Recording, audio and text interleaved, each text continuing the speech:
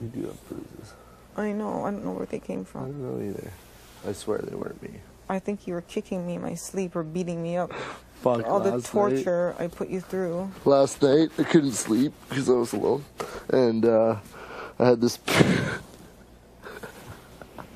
I had this pillow, and uh, I was pretending it was something, someone maybe I don't know. I was alone. Me? And uh, and I like turned over and went like this, boom, knocked everything. You pretend that pillow was me and you were hitting I'm me. joking. No, You're hitting me. No, I wasn't hitting you. I just forgot I had it in my hand, and then I just rolled over and Sure, you were taking it to be like, Ika.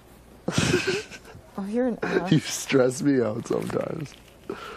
I was like, oh, where are you going? I'm like, oh, what did I I said I was going for a walk. I know, and he never came back. Yeah, usually when I say that, I never do come back. I didn't think you were coming back. Okay. Then I went looking for you, and then I, I was like, ah, she's in the blue room for sure.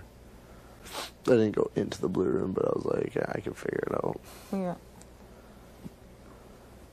Where'd you go looking? Downstairs? Yeah, In the pantry? yeah. I was going to see if you were making food or something, or if you were just hanging out.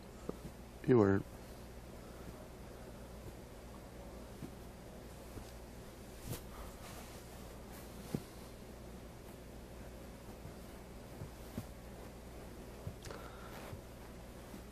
There was zero chance.